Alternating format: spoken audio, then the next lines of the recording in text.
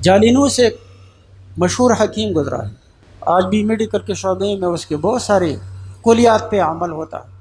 جالینوس نے اپنے شاگردوں سے کہا، فلاں دوا لا کر کے مجھے پلاؤ۔ شاگردوں نے کہا کہ وہ تو آپ کے لیے نہیں ہے، وہ تو دیوانہ پن کے لیے ہے، دیوانہ لوگوں کو دی جاتی ہے۔ احمقوں کی دوا ہے، جن کے عقل میں فطور ہو۔ جالینوس نے کہا کہ بس آپ مجھے دے، مجھے بھی شک ہو گیا اپنے اوپر۔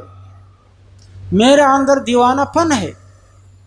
انہوں نے کہا، اللہ آپ کو دور رکھے دیوانہ پن سے۔ کیسے آپ کے اندر دیوانہ پن ہے؟ کہنے لگے کہ ایک دیوانہ نے مجھے دیکھا ہے۔ اب میرے اور دیوانہ کے درمیان کیا ہے؟ دیوانہ مجھے کیوں دیکھ رہا تھا؟ میں دیوانہ ہوں گا تو مجھے دیکھ رہا تھا۔ حکیموں کی بات تو بہت مختصر اور جامع ہوتی ہے۔ کہنے کا مقصد یہ تھا، دوستی کے لیے قدر مشترک چاہیے۔ کنر ہم جنس با ہم جنس پرواز، کبوتر با کبوتر، باز با باز۔ ہم جس ہم جس کی طرف مائل ہوتا ہے۔ کبوتر کبوتر کے ساتھ اڑتا ہے، باز بازوں کے ساتھ اڑتا ہے۔ کبوتر کو بازوں کے غول میں کسی نے نہیں دیکھا ہوگا۔ اس دیوانے نے مجھے دیکھا ہے، تو اس کا مطلب یہ ہے کہ میرا اندر دیوانہ پن ہے، مجھے دوا پلاؤ۔ اس کا کیا کام تھا کہ وہ مجھے گورتا تھا مجھے دیکھ رہا تھا۔ اس کا مطلب کیا ہوا؟ کہ ایک آدمی اور دوسرے کے درمیان جب دوستی ہوتی ہے، اس کا مطلب یہ ہے کہ قدر مشترک ضرور ہے۔ چور کی دوستی چور کے ساتھ ہوگی، راشی کی دوستی راشی کے ساتھ، قاتل کی دوستی قاتل کے ساتھ، فراڈی کی دوستی فراڈی کے ساتھ۔ اسی لیے کہتے ہیں کہ جب ایک آدمی کو دیکھو، وہ آپ کو معلوم ہے کہ غلط ہے، دوسرا اس کے ساتھ اٹھتا بیٹھتا ہے، وہ آپ کو نہیں معلوم اس سے آپ اندازہ لگائے کہ وہ بھی اس کا دوست ہے، وہ بھی اس طرح ہے۔ رستو چلا گیا تھا نا ارسد جی سے مصر۔ یونان کے رہنے والے مصر گیا تو مصر کے بادشاہ نے کہا، یہ احرام کو ناپے آپ۔ احرام مصر ہے نا عجائے عجوبات میں ہے۔ آٹھ بڑے عجائبات میں ہے۔ تو کہا کہ احرام کو آپ نام، ناپے، یہ کتنا ہے؟ احرام پہ تو کوئی اوپر آدمی چڑھ نہیں سکتا ہے۔ تو انہوں نے ناپنے کا ایک طریقہ اسی وقت ایجاد کیا اور یہ منطق کا عام اخلیدوس کا یعنی جومیٹری کا اصول بھی ہے۔ اس نے کیا کیا کہ ایک لکڑی کڑی کر دی دوپہر میں۔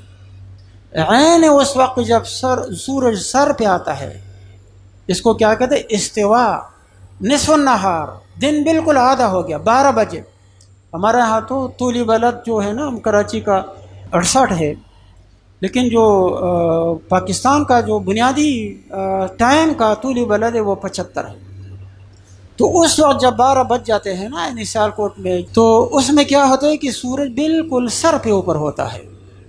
اس وقت جو سایہ ہوتا ہے، وہ چیز کی خط کے برابر ہو یا یہ ایک اندازہ ہے۔ بعضی صورتوں میں برابر ہوتا ہے، بعض میں کم و بیش۔ اس سے پھر جو ہے نا دوسرے دن انہوں نے احرام مصر کا سایہ اس وقت ناپا۔ جو نسبت یہاں تھی لکڑی اور اس کے سایہ میں، وہ نسبت وہاں نکالی اور کہا کہ اس کا، ان کی اونچائی اور بلندی یہ ہے۔ کسی بھی چیز کی بلندی آپ ناپ سکتے ہیں۔